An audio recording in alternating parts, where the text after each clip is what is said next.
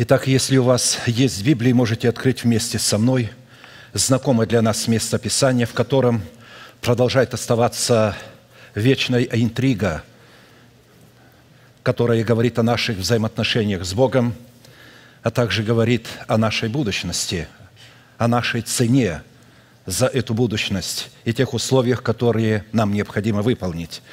Евангелие Матфея, глава 5, стихи 45-48. «Да будете сынами Отца вашего Небесного, ибо Он повелевает солнцу своему восходить над злыми и добрыми, и посылает дождь на праведных и неправедных. Итак, будьте совершенны, как совершен Отец ваш Небесный». То есть, запредельные условия, запредельная цель, которую невозможно достичь человеческими возможностями – но, однако, чтобы исследовать пути, ведущие нас к такому совершенству, которое присуще только нашему Небесному Отцу, мы остановились на рассматривании пути, ведущего к Богу, как к своему жениху. Это путь, которым Святой Дух производит избрание жены невесты Агнца, чтобы привести ее к Господу, как к жениху. И для исследования этой мысли мы взяли за основание один из многочисленных образов описывающих как образ самой невесты, так и путь невесты к своему жениху. Это история избрания Ревеки для Исаака управителем дома Авраамова. Бытие 24, 40, 41. «Господин мой Авраам сказал мне, Господь, пред лицом которого я хожу, пошлет с тобою ангела своего и благоустроит путь твой, и возьмешь жену сыну моему из родных моих и из дома отца моего. Тогда будешь ты свободен от клятвы моей, когда сходишь к родственникам моим». То есть, это продолжение, возможно, той проповеди, которая началась сразу после воскресения Христа, призванная к совершенству.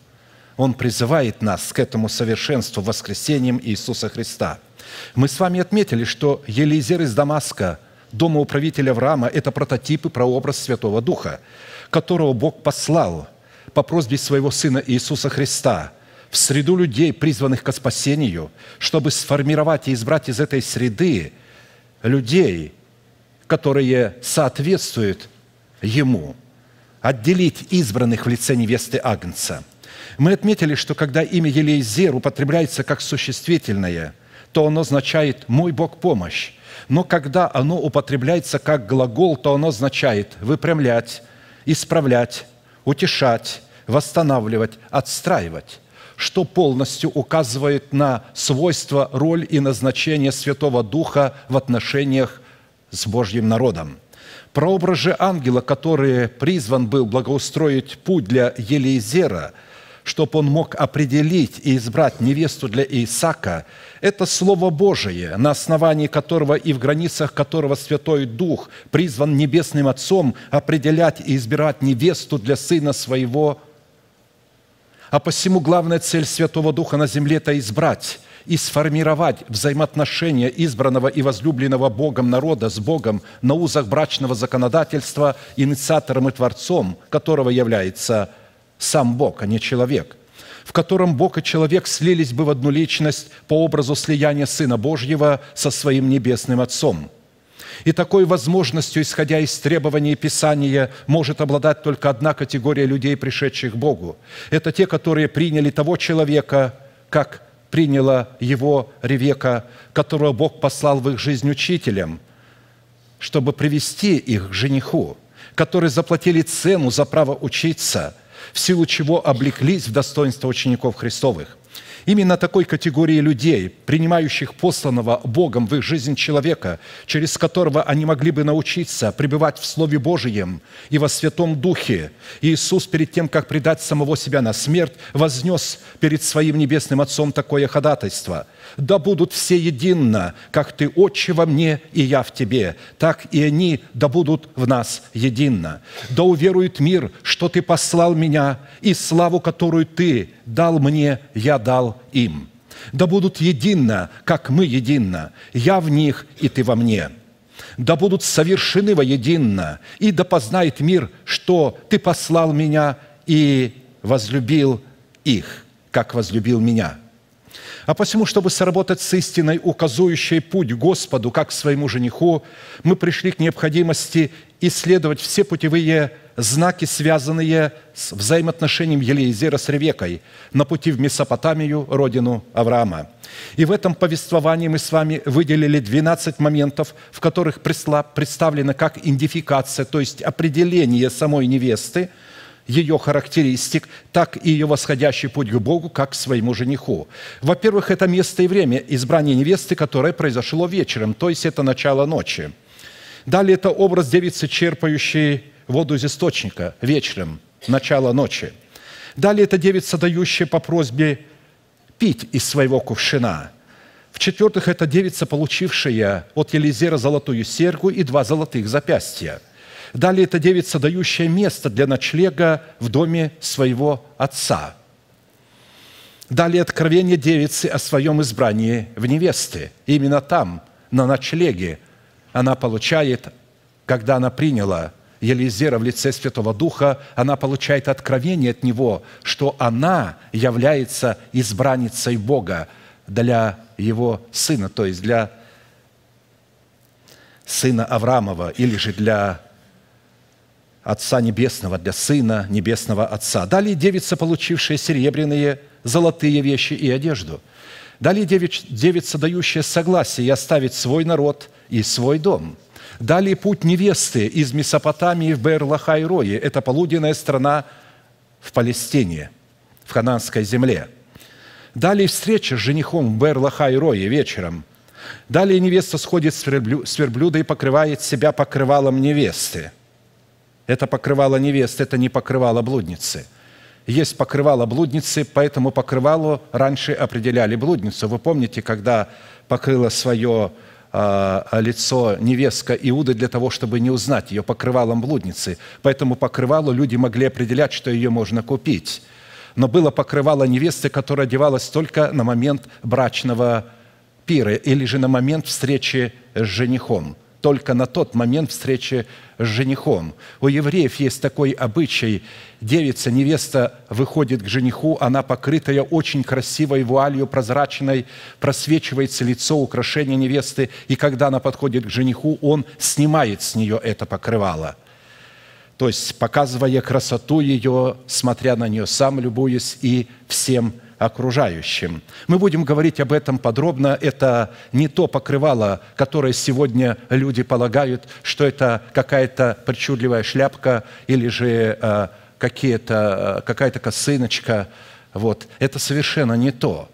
Но об этом мы поговорим позже.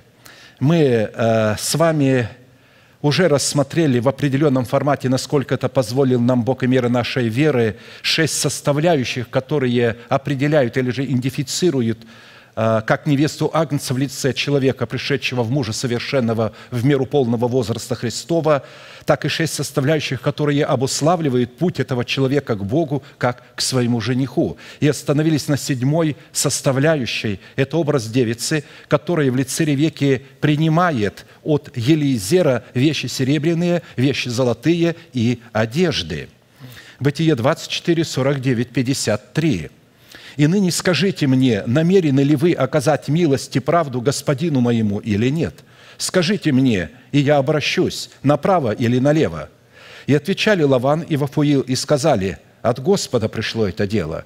Они понимали, что произошло нечто сверхъестественное, в котором участвует Бог, которому нельзя перечить, нельзя спорить. И они говорят, мы увидели – когда он объяснил, что произошло и как это произошло, мы увидели, что от Господа пришло это дело. И мы не можем сказать тебе вопреки ни худого, ни доброго. Вот Ревека пред тобою, возьми и пойди, пусть она будет женою сыну господина твоего, как сказал Господь. Когда раб Авраамов услышал слова их, то поклонился Господу до земли. И вынул раб серебряные вещи, и золотые вещи, и одежды, и дал Ревеке. Также и брату ее, и матери ее дал богатые подарки. Но под этими подарками не указывается золотые вещи, серебряные вещи и одежды. Просто богатые подарки. Далее мы отметили, что под тремя определениями, означенными в серебряных вещах, в золотых вещах и в одеждах, символизируется образ обетований, заключенный в трех форматах, без реализации и сработы с которыми путь к Богу как к своему жениху будет абсолютно невозможным. То есть она получила эти предметы, эти вещи для того, чтобы эти вещи могли способствовать ей, были помощью для него на пути к Исаку. Далее мы сделали ударение, что обретение этих трех форматов обетований произошло во время ночи, когда по просьбе Елизера он был принят на ночлег в доме родителей Ревеки. Это образ, как мы разбирали ранее, когда наша ночь, выраженная в состоянии нашего сердца – могла принять Святого Духа в предмете Его ночи для пребывания в нашей ночи. Бездна бездну,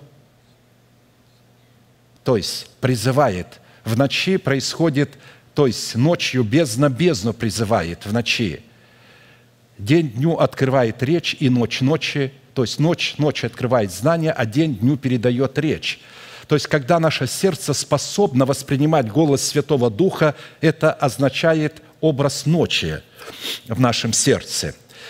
Именно тогда, когда это происходит, в Откровении написано, Откровение 3, 20, 22, когда сердце готово к тому, чтобы принять Иисуса в лице Святого Духа в свое сердце. «Се стою у двери и стучу». Если кто услышит голос мой и отворит дверь, войду к нему и буду вечерять с ним, и он со мною. Побеждающему дам сесть со мною на престоле моем, как и я победил и сел с отцом моим на престоле его. Имеющий ухо слышит или да слышит, что Дух говорит церквам. То есть эта мысль, эта проповедь только для тех, кто имеет ухо слышать согласно условиям, выдвинутым для принятия божественной ночи в свою ночь, необходимо отвечать в своем сердце требованиям победителя древнего змея. Исполнение этих требований как раз и дают способность слышать в своем сердце голос Святого Духа. Сама же способность слышать в своем сердце голос Святого Духа определяется состоянием доброго сердца, облеченного смирением перед волей Божией, которое своими свойствами – соответствует смирению, присущему смирению Сына Божьего. Это не то, когда нас кто-то смиряет, а когда мы сами смиряем.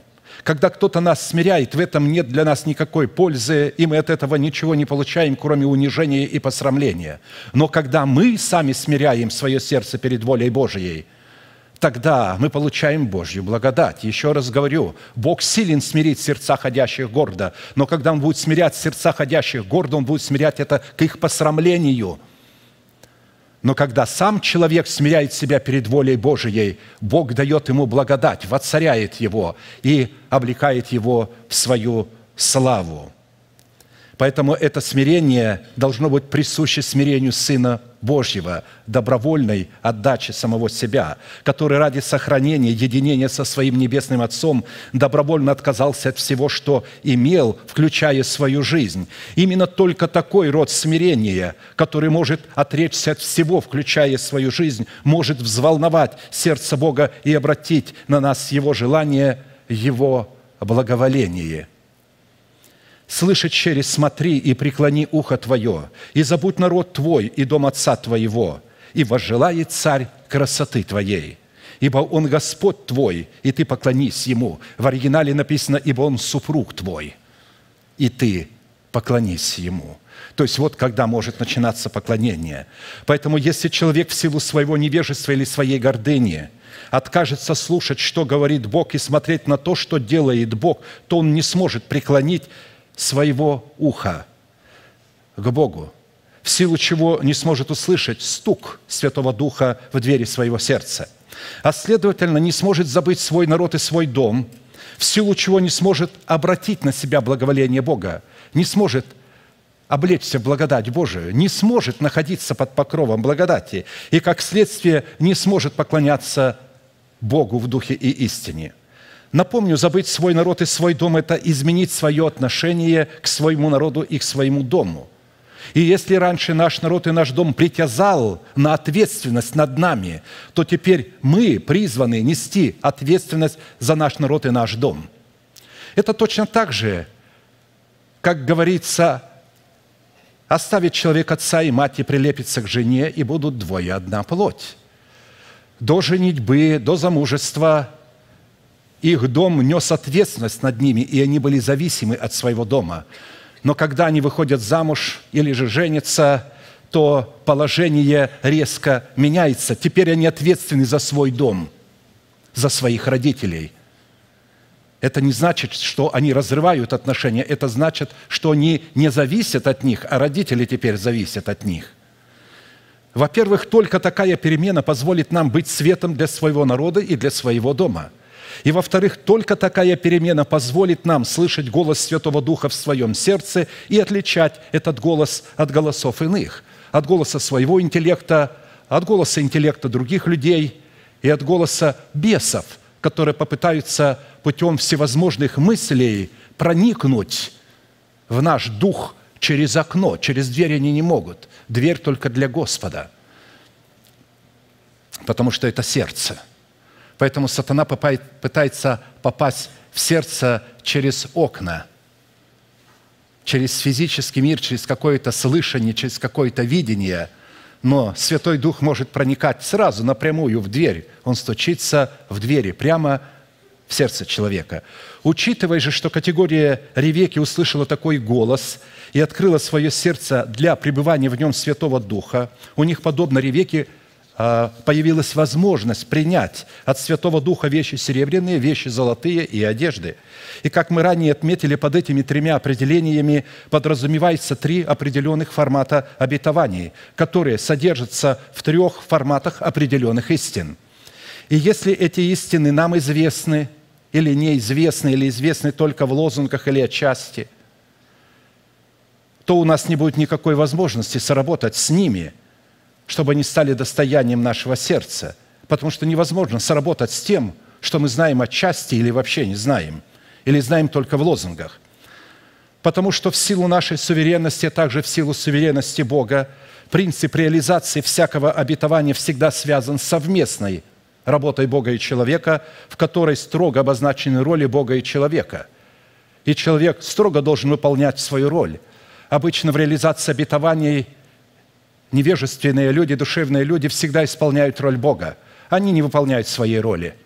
Они всегда берут роль Бога и начинают и пытаются как-то помогать Богу в этом. Точно так же, как невежественные женихи и невесты, которые выходят замуж и которые совершенно не подразумевают своей роли. Я часто спрашивал жениха, что он запомнил из всего, что он услышал – он говорил, жена да боится своего мужа. Я говорю, ну это не для тебя, это для жены, это жена должна была запомнить. У жены спрашиваю, что ты запомнила? Мужья любите своих жен. Я говорю, ну это для мужа, не для тебя. Обратите внимание, они не хотят а, а, свое. Почему? Потому что свое – это условие, это цена. Это нужно что-то делать. А здесь ничего не надо делать. Она запомнила, что он должен ее любить. Он запомнил, что она должна его бояться. Но для того, чтобы она тебя боялась, и слово «бояться» – это не тот страх, а это трепет. Нарушить покой своего любимого из-за незнания правил. Она должна изучить жениха, а он должен изучить невесту, чтобы они не нарушали суверенных границ друг друга, потому что даже когда они сливаются вместе, они остаются суверенными, и у них есть суверенное пространство, в которое не может вторгаться муж к жене, а жена к мужу без доброго на то согласия. Поэтому ничто не может им даваться по требованию друг от друга, а только по добровольному согласию. Но речь идет о взаимоотношениях Бога со своим народом. Далее мы обратили внимание на то, что мы должны узнать, что такое серебряные вещи, что такое золотые вещи, что такое одежды, которые нам были даны – в начале нашего исследования мы сделали ударение на том, что в Писании как серебро, так и золото символизируют как различные аспекты совершенного Богом искупления, так и различные аспекты созидания человека в меру полного возраста Христова посредством все той же истины, обуславливающей цель и характер искупления. Далее мы с вами встретились с тем фактором, что на иврите под вещами серебряными и вещами золотыми имеются в виду не просто какие-то неопределенные изделия, но под этими словами или же под словом «вещи» в оригинале, на иврите, имеются в виду такие истины, которые призваны выстроить наши отношения с Богом, как своим женихом – и когда я исследовал, и вместе мы исследовали, что означает на иврите вещи, которые она получила, серебряные и золотые от Елизера, и Елизера, оказалось, что эти вещи обозначают сосуд, изделия, какие-то сосуды, какие-то изделия, принадлежности для устроения святилища, прибор писа или измерительный прибор, музыкальный инструмент, воинское оружие и орудие земледельца – Учитывая же, что на иврите имена существительные могут трансформироваться и рассматриваться в действии глаголов, в силу чего значение исследуемого предмета или свойства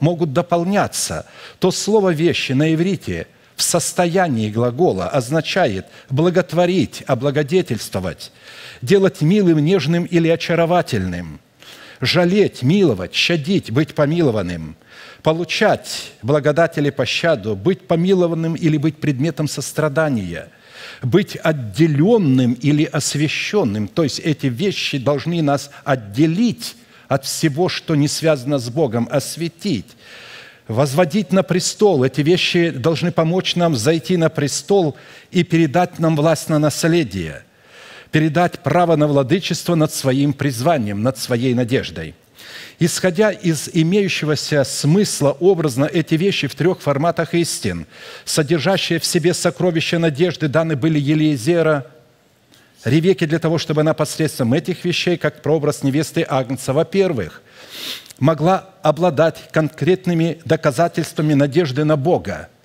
благодаря которым она могла бы иметь веру и упование на Бога, чтобы сохранить слово терпения Божие на пути к Исаку – чтобы не возвратиться назад, чтобы не махнуть рукой, чтобы не испугаться каких-то препятствий.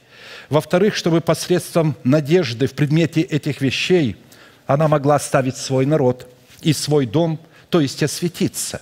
Оставить свой народ и свой дом, отделиться – это значит осветиться. Освящение – это отделение.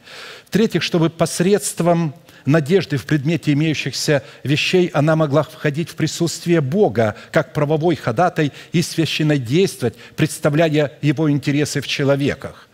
То есть эти вещи будут доказательством и правом на вхождение в присутствие Бога. В-четвертых, чтобы посредством надежды в предмете имеющихся вещей она могла бы являть владычество над своим призванием – Далее мы отметили, что отличие золотых вещей от вещей серебряных в учении об искуплении состоит в том, что серебро в учении об искуплении, независимо от закона Моисеева, примиряет нас с Богом и дает нам возможность облекаться в правду, то есть быть оправданными. В то время как золото в учении об искуплении, независимо от закона Моисеева, дает нам возможность творить правду в делах правосудия и являть святость в делах освящения – Откровение 22, 10, 12. «Не запечатывай слов пророчества книги сей, ибо время близко. Неправедный пусть еще делает неправду, нечистый пусть еще сквернится, праведный дотворит правду еще, и святый да освящается еще. Все гряду скоро, и возмездие мое со мною, чтобы воздать каждому по делам его». Здесь речь идет уже о золоте, а не о серебре. То есть не о серебряных вещах, а о золотых. Исследуя природу и назначение золотых вещей в творчестве правды и освящения, мы уже рассмотрели самих себя в образе золотых изделий, в предмете золотых сосудов. И если употребление серебряным сосудом указывали, или же уподобление, когда мы уподабливаемся серебряным сосудом, то они указывают, кем для нас является Бог и что сделал для нас Бог. То уподобление золотым сосудом даровали нам власть над тем, что сделал для нас Бог в нашем предназначении. То есть Он дал нам власть в сфере господства над своим призванием, когда мы уподобились золотым сосудом, дал власть в сфере священнодействия, дал власть в сфере вынесения приговора суда и дал власть в сфере приведения этого приговора в исполнение. Далее мы отметили, что когда речь идет о больших домах, в которых присутствуют сосуды для высокого и для низкого употребления, имеется в виду только образ церкви, которая на земле, но не на небе. Так как, исходя из откровений, содержащихся в Писании, в образе Дома Божьего, который находится на небесах, сосудов для низкого употребления просто нет и в помине. Они туда не попадут, их там нет – Потому что находиться на небесах, которые являются Домом Божьим, и в то же самое время не принимать того, что исходит от Духа Божия, да еще и почитать это безумием невозможно. А ведь а, именно на земле, в Церкви Божией, существуют, в основном преобладают во всем мире душевные люди, количество душевных людей, их больше – 1 Коринфянам 2,14. «Душевный человек не принимает того, что от Духа Божия, потому что он почитает это безумием, и не может разуметь, потому что о сем надо судить духовно, а он судит о сем не духовно, он судит своей головой, своим умом. Поэтому из этой характеристики, которая обуславливает категорию людей душевных, следует, что то, что Бог терпит в среде своего народа на земле, Он никогда не потерпит на небесах. Далее мы отметили, что как священники Богу, мы призваны пить как из серебряных сосудов, так и из золотых. Но вот как цари Богу, мы призваны пить только из сосудов золотых, потому что истинное искупление в качестве серебра является пред Богом доказательством нашего оправдания, в то время как истинное искупление в качестве золота является пред Богом доказательством того, что мы ежедневно творим правду – в делах совершаемого нами правосудия и ежедневно являем святость в делах нашего освящения.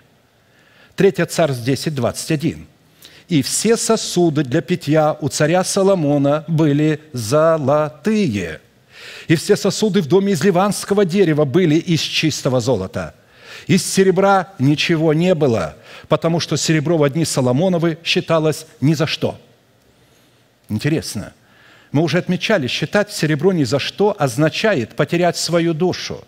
Потому что оправдание, которое мы получаем в качестве серебра, мы получаем, когда мы находимся в состоянии младенчества, то есть в душевности.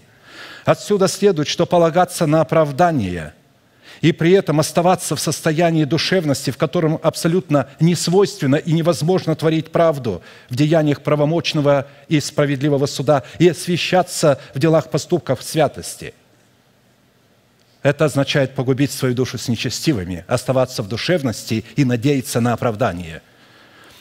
В то время как возненавидеть душу свою в мире всем означает сохранить ее в жизнь вечную. А посему человек, получивший оправдание, но не творящий правды в делах правосудия и не являющий святости в делах освящения, это человек, который не пустил в оборот доверенное ему Богом серебро искупления и закопал его в землю – Евреям 12, 14. «Старайтесь иметь мир со всеми и святость, без которой никто не увидит Господа». Святость. Если мы не творим святых поступков в делах освящения, надеясь, что мы святые, то это ошибка. Написано, без поступках святости никто не увидит Господа – мы отмечали, что святой – это человек, оправданный Богом посредством истины искупления. А вот святость – это уже поступок правды и плод святости, который является предназначением всякого человека, принявшего искупление Божие, или призванием всякого человека. Святость – это гарантия на наследие вечной жизни в предмете Царства Небесного – Римлянам 6:22.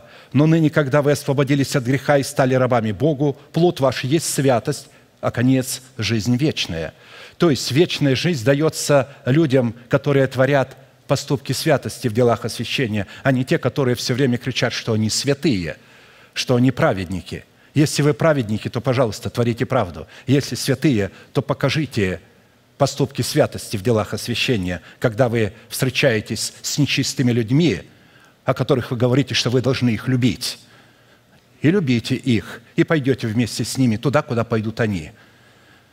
То есть ведь обычно душевные люди любят всех, а иногда даже дьявола, потому что Бог есть любовь. Как один из а, бывших знакомых моих пятидесятнических пасторов говорил мне, ты знаешь, а, а, если Бог не спасет дьявола, то Он не Бог любовь, и Он не всемогущий. Он говорит, я верю, что Бог в свое время спасет дьявола, Он уничтожит ад, смерть этого не будет и ничего. И все бывшие демоны снова станут ангелами, и все грешники снова войдут в спасение. Я говорю, слушай, а зачем тогда мы э, делаем такие трудности, делаем такой подвиг? Давай будем грешить, все равно рано или поздно Бог есть любовь, Он нас спасет. Он говорит, ну, в общем-то, можно и так. Я говорю, а ты скажи это с кафедры. Он говорит, о, нет, это а, для мудрых. Это только говорит, для мудрых, потому что это не младенцам. То есть вот а, а, а такие есть страшные вещи, которые находятся в головах пастухов нечистых, нечистоплотных, которые посягают на право управлять народом Божиим.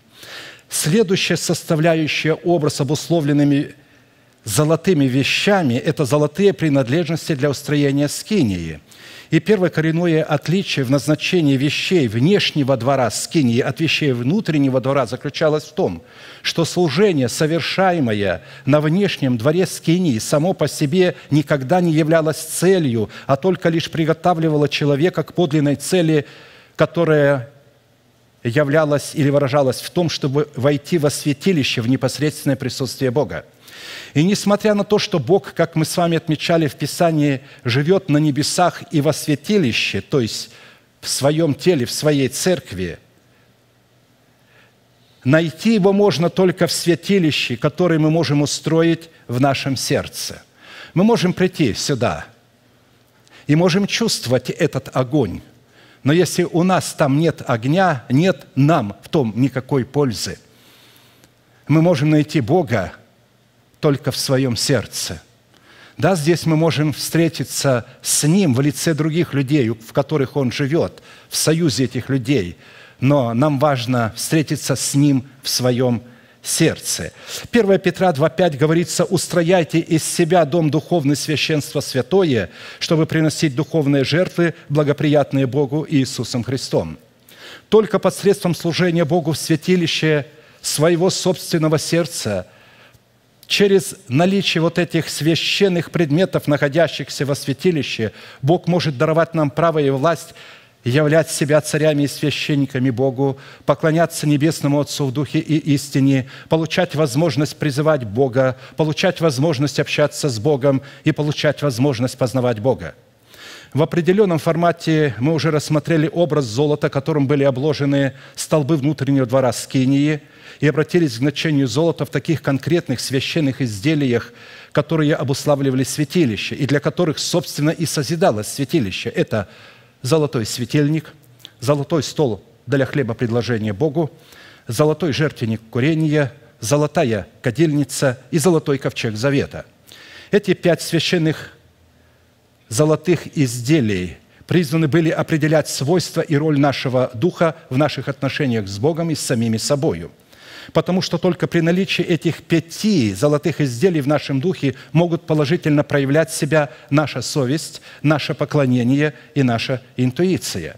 Именно эти три свойства в своей совокупности определяют в нашем естестве субстанцию нашего духа, которая обуславливает наше вечное и неистребимое бытие с Богом и в Боге – в определенном формате мы с вами уже рассмотрели назначение и свойства, которые призван осуществлять золотой чеканный светильник во святилище нашего духа. И прежде чем мы перейдем к исследованию следующего изделия в предмете золотого стола хлебопредложений, я в кратких формулировках напомню суть золотого светильника. Золотой светильник представляет дух человека, который оставил младенчество, в силу чего стал способен испытывать глубины своего сердца. Светильник Господень – дух человека, испытывающий все глубины сердца. Притча 20, 27. Практически золотой светильник – это такая субстанция нашего духа, которая выражается в нашей доброй совести. Это наша добрая совесть, которая стала доброй благодаря очищению ее от мертвых дел посредством крапления крови Христовой, в силу чего мы стали способными в своей совести служить Богу живому и истинному. Евреям 9, 13, 14. Ибо если кровь тельцов и козлов и пепел телицы через окропление освящает оскверненных, дабы чисто было тело, то коль ми паче кровь Христа, который Духом Святым принес себя непорочного Богу, очистит совесть нашу от мертвых дел для служения Богу живому и истинному». Исходя из данной концепции, наше тело может быть очищено не иначе, как только посредством нашей очищенной совести – Учитывая же, что возрожденный дух человека душевного находится в состоянии младенчества, то его совесть не может быть очищена от мертвых дел, в силу чего его совесть не может и выполнять роль светильника Господня, потому что душевный человек управляется не умом Христовым, а своим интеллектом и своими чувствами. Я чувствую, Господь здесь которые в своей совокупности не имеют никакого отношения к его возрожденному еще не окрепшему духу. Потому что только совесть, которая очищена от мертвых дел, может быть сформулирована в светильник Господень и таким образом становиться причастником ума Христова.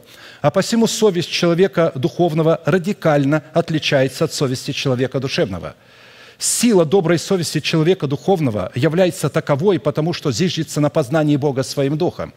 В то время как немощь совести человека душевного, неочищенная от мертвых дел, является таковой, то есть немощной, потому что зиждется на познании Бога своим интеллектом – Исходя же из того фактора, что Бог есть Дух, становится ясным, что познать Бога способностями своего интеллекта, относящегося к душе, абсолютно невозможно, да еще и преступно – Потому что возрастать в мужа совершенного в меру полного возраста Христова призван наш дух, а не наша душа. А посему душевные люди обладают немощной совестью, которая судит их на основе усвоенных ими знаний о Боге и Его характере силою их душевных возможностей – в силу чего их совесть на основе полученных ими знаний, силою их интеллекта будет осуждать их за то, за что Бог на самом деле не осуждает. И наоборот, их немощная совесть будет осуждать их за то, не будет осуждать их за то, за что Бог осуждает. А посему, как мы с вами говорили и ранее, душа может развиваться сколько угодно и как угодно, но до тех пор, пока она не будет потеряна путем посева, и как зерно пшеницы не принесет плода святости, формирование нашего духа в светильник Господень будет невозможным – Золотой светильник а, во святилище занимает исключительное место среди всех золотых изделий, потому что это единственный свет во святилище, благодаря которого могут исполнять свои функции и свое назначение все другие изделия. И если наш золотой светильник в предмете нашей совести по каким-либо причинам погаснет, то все остальные изделия немедленно прекратят свои функции – так как вся их деятельность поставлена в прямую зависимость от света, исходящего от чеканного золотого светильника. 1 Тимофея 1, 18, 19. «Преподаю тебе, сын мой Тимофей, сообразно с бывшими о тебе пророчествами такое завещание, чтобы ты воинствовал согласно с ними, как добрый воин, имея веру и добрую совесть, которую некоторые, отвергнув, потерпели кораблекрушение в вере» если светильник гаснет, то есть совесть омрачается, оскверняется, мы терпим кораблекрушение в вере. Итак, какую роль и какое назначение призван представлять в нашем возрожденном духе золотой стол хлебопредложений? И прежде чем мы начнем исследовать устроение самих себя в золотой стол хлебопредложений, я хотел бы дать определение его роли или же его назначению в нашей душе – Золотой стол располагался на северной стороне святилища, в то время как золотой чеканный светильник располагался на южной стороне святилища, напротив золотого стола. И если южная сторона святилища в предмете чеканного золотого светильника символизировала силу ума Христова, благодаря чего наша совесть могла светить, освещать, то северная сторона святилища в предмете золотого стола – для хлебопредложения Богу символизировала силу воли Божией, которую представлял Сын Божий. Золотой стол для хлебопредложения Богу – это уникальное место, устроенное в нашем сердце, которое мы должны устроить для принятия и сохранения благовествуемого слова, которое мы будем принимать, несмотря на то, что не сможем осилить его своим интеллектом – И таким словом, которое мы действительно не способны селить своим интеллектом, является слово о кресте Христовом. И причина, по которой мы до определенного Богом времени не можем понимать слово о кресте Христовом, заключается в том, что слово о кресте – это 12 пресных хлебов, положенные на золотом столе Богу, а не нам. Это для Бога, а не для нас – есть истины, которые мы принимаем, но которые не понимаем по той причине, что они должны лежать пред Богом, и Бог должен их вкушать. Это доказательство нашей верности Богу. Это Ему, а не нам. В свое время истина о пресном хлебе, выраженная в силе креста Христова, послужила соблазном почти для всех учеников Иисуса Христа, в отличие от 12 учеников, которые принимали слово учителя, хотя и не могли осилить его своим интеллектом. И такое размежевание посредством проповеди о кресте, по словам апостола Павла, будет происходить до скончания века, чтобы отделять малое стадо избранных от многочисленного множества званных. Ибо слово о кресте, говорит апостол Павел, 1 Коринфянам 1, 18, 25, для погибающих юродства есть безумие – а для нас, спасаемых, сила Божия. Ибо написано, погублю мудрость мудрецов и разум разумных отвергну. Вот все то, что человек делает умом, Бог погубит. Где мудрец, где книжник, где совопросник века сего, который говорит, а у меня тоже есть Библия, у меня тоже есть моя голова. Не обратил ли Бог мудрость мира сего в безумие? Не обратил ли Бог головы этих людей, а, которые думают, что они умные, в безумных? Ибо когда мир своей мудростью, своим интеллектом не познал Бога в премудрости Божией, то благоугодно Богу именно юродством проповеди спасти верующих. Ибо и иудеи требуют чудес, и елены ищут мудрости, а мы проповедуем Христа распятого. И смотрите, это слово для иудеев соблазн, а для еленов безумие, для самих же призванных иудеев и еленов Христа – Божью силу и Божью премудрость. Потому что немудрое Божие премудрее человеков, и немощное Божие сильнее человеков. Итак, предложение пресных хлебов Богу на золотом столе, которое мы до назначенного Богом времени не можем постигнуть своим интеллектом, то есть потому, что они там лежали целую неделю, и только в конце недели священники могли их снимать и наконец-то есть, когда они могли их понимать. Но только священники, душевные люди – не могли прикасаться. И не все люди из колена Левиина могли это есть, а только из рода Ааронова, из племени, из рода Ааронова. Это не значит, что все левиты могут есть этот хлеб. Это очень важно. Поэтому предложение пресных хлебов Богу на золотом столе, которое мы до назначенного времени не можем постигнуть своим умом, это великая святыня Господня – которая принадлежит в первую очередь Богу, что связывает ее с приношением Богу в нашем духе десятин Господних, которые не принадлежат нам, но принадлежат Богу. Мы не можем их есть. В силу чего способность принимать благовествуемое слово о силе креста Христова, которое мы не способны осилить своим интеллектом, является как определением потери нашей души в смерти Господа Иисуса, так и определением того, что наша душа поставлена в зависимость от нашего духа. И если семь ветвей золотого светильника символизировали полноту Божию, семь – это полнота, то двенадцать пресных хлебов – в совокупности с чистым Ливаном символизировали порядок Бога в Его праведности, действующей в Его судопроизводстве. Левитам 24, 5, 9. «И возьми пшеничной муки, и испеки из них двенадцать хлебов. В каждом хлебе должны быть две десятых ефы, и положи их в два ряда по шести в ряд на чистом столе перед Господом. И положи на каждый ряд чистого ливана – и будет это при хлебе в память в жертву Господу. Кому в память? Для кого это? Для Господа. В память, в жертву Господа. В каждый день субботы постоянно должно полагать их пред Господом от сынов Израилевых. Это завет вечный. Они будут принадлежать только Аарону и сынам его, которые будут есть их на святом месте. Это великая святыня для них из жертв Господних. Это постановление вечное. Посмотрите, только в одном стихе дважды употребляется это постановление вечное. И также в других местах. Ливан. Чистый ливан, который ложился вместе с пресными хлебами. Ливан практически это самая высокая горная вершина в Сирии, покрытая снегом, на которой растут великолепные кедры, и особый род тополя под названием ливни, из которого вырабатывался благоухающий ладан или ливан – Ливан, помимо свежего благоухания, означает «белая гора», а посему Ливан символизирует белизну и свежесть благоухающей чистоты, выраженной в праведности Бога.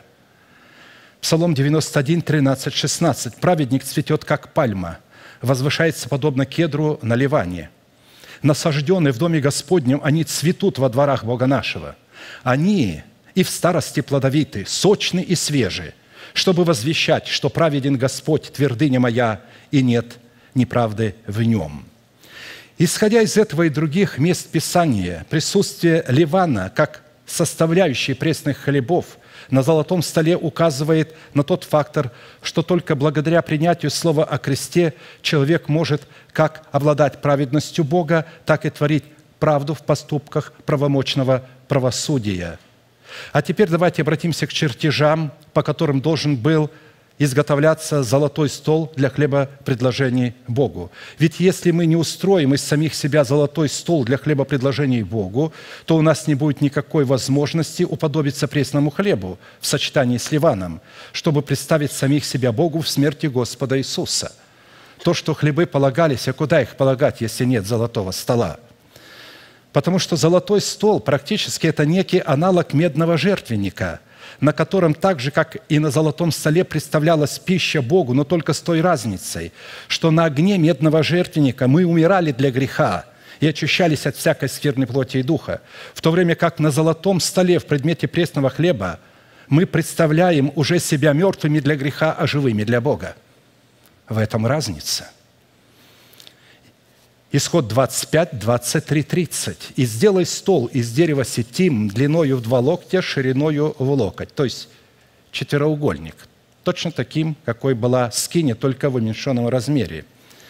«И обложи его чистым золотом, и сделай вокруг него золотой венец, и сделай вокруг него стенки в ладонь, и у стенок его сделай золотой венец вокруг, и сделай на четырех концах золотые кольца, четыре золотых кольца, и утверди кольца на четырех углах у четырех ножек его. При стенках должны быть кольца, чтобы влагать шесты для ношения на них стола. А шесты сделай из дерева сетим и обложи их золотом, и будут носить на них сей стол. Сделай также для него блюдо, кадильницы, чаши и кружки, чтобы возливать ими. Из золота чистого сделай их. И полагай на стол хлебы предложения пред лицем моим постоянно. То, что золотой стол был сделан из дерева сетим, которое росло только в пустыне, в Синайской пустыне, место а, встречи с Господом и место общения с Богом, именно там, указывает, что его присутствие в духе человека стало возможным только после того, когда человек отверг власть своей души в предмете Египта – власть души над своим духом, что на практике означает «оставил младенчество», пользу чего мог стать мужем совершенным. До тех пор, пока мы не оставим младенчество, мы не сможем устроять из самих себя дом духовный, священство святое, в котором мог бы пребывать Бог и в котором мы могли бы приносить Ему духовные жертвы в предмете плода нашего духа. И как результат не сможем быть водимыми Духом Божиим. Потому что многие думают, что если они говорят на их языках, они водятся Духом Божиим – они водятся либо своим духом. И апостол Павел сказал о многих людях, говорящих на иных языках, что они не, не имеют духа. Да, они получили дар Духа Святого, дар Духа Святого.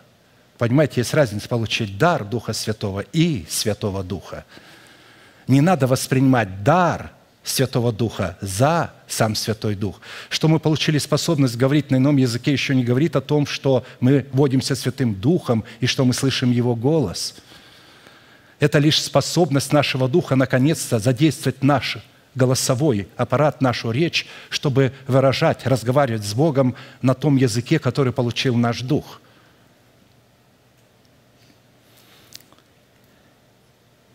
Это очень важно.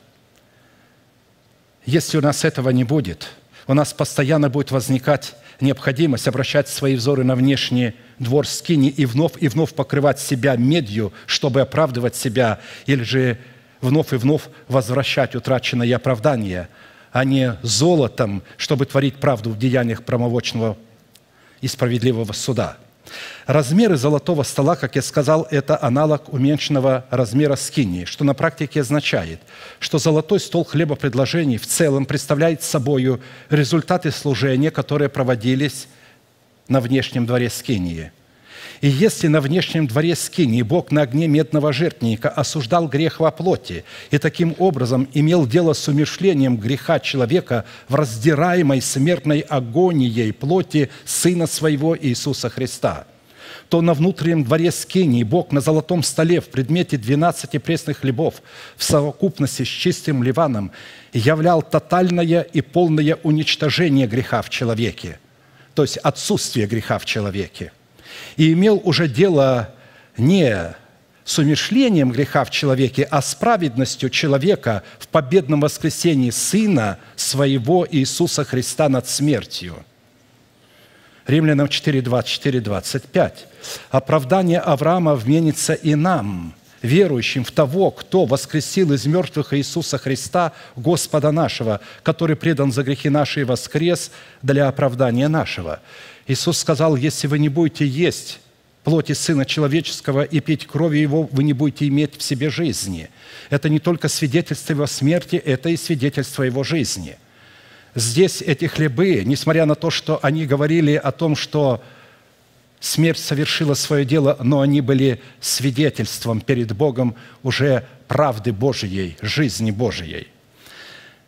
Золотые стенки вокруг стола величиною в ладонь – это символ совершенной воли Бога – вы знаете, что в священнодействии ладонь священника играла решающую роль, так как именно на ладонь наносилась как жертвенная кровь, так и священный елей. И затем с ладони священник кропил жертвенник и вносил во святилище, и там кропил кровью или мазал. И все это было с ладони священника.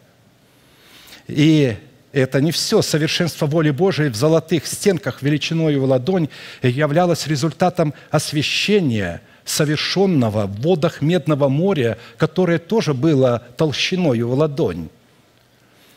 То есть Медное море наподобие лилии, толщина его в ладонь человека – и сделал литое из меди море от края его до края его десять локтей. Мы не будем разбирать Медное море, я хочу только обратить внимание на ладонь, которая присутствует в измерении Медного моря, совсем кругло вышиной в пять локтей, и снурок в тридцать локтей обнимал его кругом. Оно стояло на двенадцати валах. Три глядели к северу, три глядели к западу, три глядели к югу, три глядели к востоку. Море лежало на них, и зады их обращены были внутрь, под него. Толщиною оно было в ладонь и края его, сделанные наподобие или подобно краям чаши, походили на распускающуюся лилию. Оно вмещало две тысячи батов. То есть, если вы увидели, то очень важно, эта ладонь в священнодействии, она проявилась не только здесь, она проявилась и там. Только, конечно, большая разница этой ладони на внешнем дворе и большая разница на внутреннем дворе. Это уже совершенство. Там они омывались, а здесь они уже не омывались, здесь уже сверкало золото. Там они еще не были золотом, а здесь уже не были золотыми. Золотой венец, которым был увенчан золотой стол, указывает на царственную власть в духе человека над самим собою. Царственная власть в духе над самим собой – это способность владеть своим духом. Эта власть дает возможность быть для самого себя защищающей стеною от всякого гнева Божьего и от всяких стрел сатаны. Притча 25-28, что город разрушенный без стен, то человек, не владеющий духом своим. Во-вторых, царственная власть в духе над самим собою – это способность различать в своем духе голос Божий в посланниках Божьих от голосов тех людей, которые называют себя посланниками Бога, но на самом деле таковыми не являются. Притча 20, 26. «Мудрый царь выведет нечестивых и обратит на них колесо».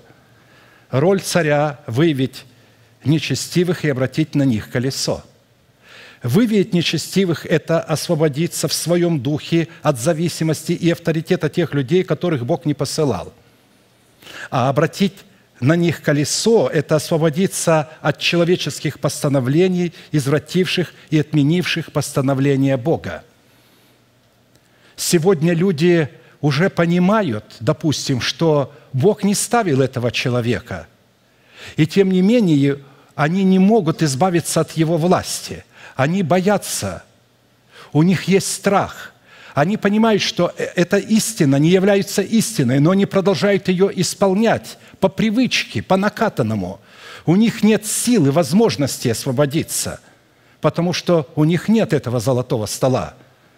У них нет этой стенки величиной в ладонь, и у них нет этого царственного венца вокруг этой стены – Четыре золотых кольца на четырех углах золотого стола хлебопредложений – это присутствие в нашем духе вечного завета. Круг – это всегда отображает вечный завет с Богом, который мы заключили с Богом на основании четырех учений, четыре кольца или четырех небесных ветров, каждая из которых обладает в себе тройственностью.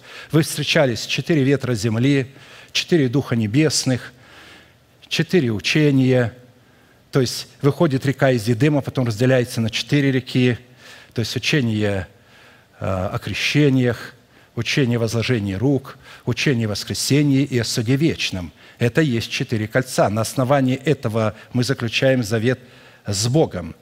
И эти, э, значит, четыре кольца в своей совокупности на внешнем дворе Скинии отражены в 12 медных валах – на которых держится медное море для омытия от всякой скверной плоти. А во внутреннем дворе скини четыре золотых кольца символизируют исполнение этой совершенной воли. Это уже исполненная воля. В формате 12 драгоценных оснований Иерусалима и 12 жемчужных ворот Нового Иерусалима. Вы знаете, что такое 12 оснований. Это драгоценные основания. Это 12 драгоценных оснований Иерусалима. Это 12 жемчужных ворот. Именно жемчужное ожерелье на шее возлюбленной в песне песнях волновало сердце жениха. Говорит, пленила ты сердце мое, сестра моя, одним ожерельем на шее твоей. То есть, потому что жемчуг, жемчужные ворота – для того, чтобы Господь мог войти в нашу дверь, которая теперь представляется жемчужной, или из одного жемчуга выполненная. Мы знаем, что жемчуг – это результат жестокого, долгого страдания, где было все прощено, все забыто. Этот драгоценный перламутр, которым облекалась песчинка, и народный элемент, который внедрялся – мы скажем, что это за инородный элемент, который заставляет нас страдать в нашем духе и облекать этот инородный элемент перламутром, драгоценностью, которая потом будет волновать жениха. Этот инородный элемент – наше тело.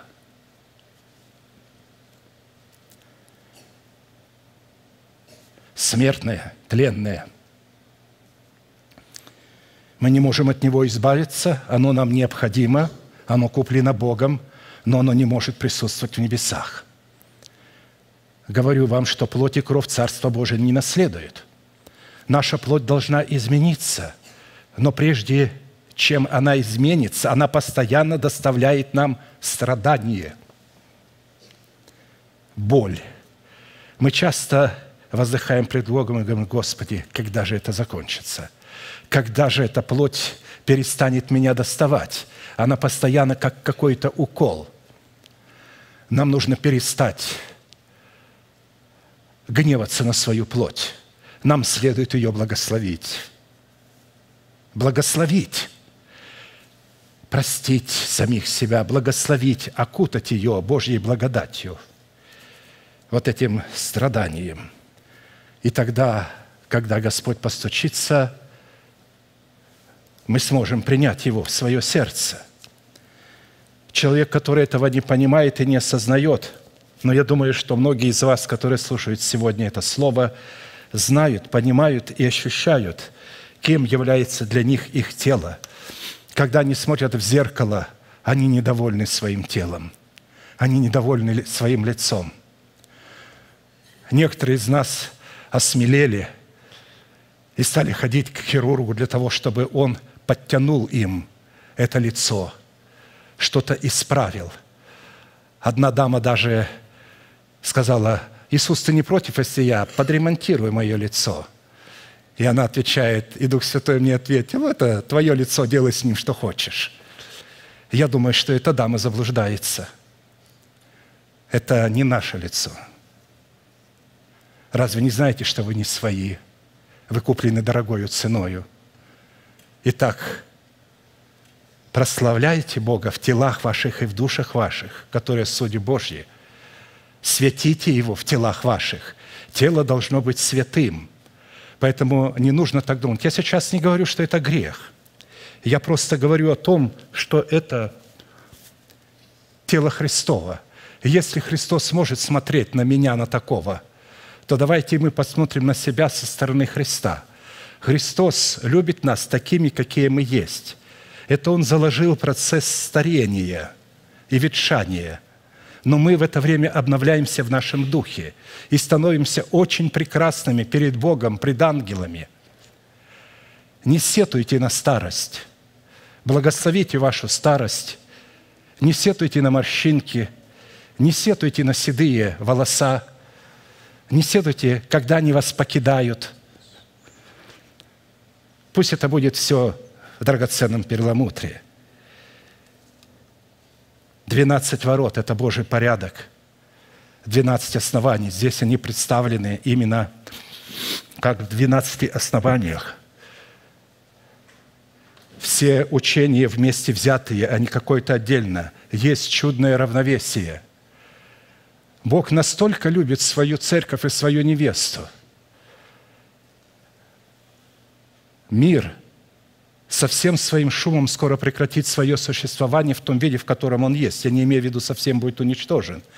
Я имею в виду, что престолы, царства, политические системы будут настолько разрушены, настолько придут в негодность политические системы, что люди начнут панически искать того, кто может их снова собрать. Дамоклов меч, атом – водород, оружие, которыми сегодня обладают сверхдержавы, приводит в ужас разумных людей. Потому что если начнется ядерная война, ничего хорошего не будет ни для той стороны, которая начнет, ни для той стороны, которая начнет защищаться. Наша планета перестанет прекратить свое существование. Но я вам скажу одну вещь, которую не часто говорят в церквах – не произойдет ядерная война до тех пор, пока Бог не отзовет свою невесту отсюда. Бог не будет забирать ее из, этого, из этих осколков. Он заберет ее, как забрал Илью. Все было на месте, как забрал Еноха. И только после того, когда он забрал Еноха, он стал готовить Ноя, чтобы тот приготовил ковчег к спасению. И только тогда излил свой гнев – так и здесь Иисус сказал своим ученикам на горе, когда уходил. Он сказал, что Он возвратится назад. Но тем не менее, когда Он стал восхищаться, и облако взяло из видов, ученики долго продолжали смотреть на небо. А может, Он снова появится? Как это так? Ушел? Обычно Он никогда не уходил, а тут ушел, да еще в небеса ушел. Они видели, как Он уходил в небеса. И тогда явились два ангела, два мужа в блистающих одеждах и сказали им, мужи галилейские – что вы стоите и смотрите на небо? Сей Иисус, вознесшийся от вас на небо, придет точно таким же образом, каким вы видели его восходящим от вас». Видите, этот образ тихий, без крушения, без войн. Поэтому тихо, тихо мы вознесемся. Мы изменимся скоро во мгновение ока. Именно поэтому мы получаем такое слово, чтобы стать золотом в его очах – чтобы наконец-то по-настоящему священнодействовать, чтобы не только говорить и провозглашать, что мы цари и священники, но чтобы быть царями и священниками. Мы сейчас будем молиться, и все те, в сердце которых проник этот голос, эта мысль, этот стук, вы можете открыть ваше сердце. Возможно, вы будете исцелены от ваших болезней, от ваших страхов – то есть точно, те, кто откроет. Алтарь для вас. Мы будем молиться за вас. Дух Святой здесь. Если Он провозгласил это слово, значит, Он приготовил для вас свою благодать. А благодать для послушных, для кающихся. Склоним колено, будем молиться. Аминь. Я сейчас буду молиться вместе с вами вашей молитвой и прошу вас глубоко верить в то, что Бог на вашей стороне, Он не против вас, Он за вас. Глаза закрыты – это элемент тайной комнаты. Ладони обращены к небесам. Бог любит, когда к Нему воздевает руки без сомнения и гнева. Молитесь вместе со мной. Небесный Отец, во имя Иисуса Христа, я прихожу к Тебе с моим смятением – с моей болью, с моим грехом. Прошу Тебя, прости меня, омой меня, очисть меня, исцели мою рану, восстанови меня, защити меня, покрой меня собою. Я принимаю Твое Слово в мое сердце, в силе Твоего Духа. И прямо сейчас, перед небом и адом – я хочу исповедовать, что согласно Твоего Слова я омыт, я очищен, я исцелен, я восстановлен, я оправдан, я спасен. Аминь, аминь. Прощаются грехи ваши и беззакония ваши во имя Иисуса Христа. Да благословит тебя Господь да презрит на тебя светлым лицом своим и помилует тебя, и да даст тебе мир. Да падут вокруг тебя тысячи и десятки тысяч, одесную тебя, а к тебе не приблизятся. Да придут все сии благословения на тебя и на потомство твое, и исполнятся на тебе, и весь народ да скажет Аминь могущему же соблюсти нас от падения и поставить пред славою Своею непорочными в радости, единому, премудрому Богу, Спасителю нашему, через Иисуса Христа, Господа нашего, слава и величие, сила и власть, прежде всех веков, ныне и во все веки. Аминь.